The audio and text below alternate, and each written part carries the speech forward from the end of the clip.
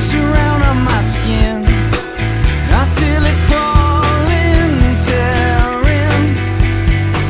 I feel it trying to get in. Well, the distraction's getting stronger, and I'm slowly growing wild. I convince my mind to wander.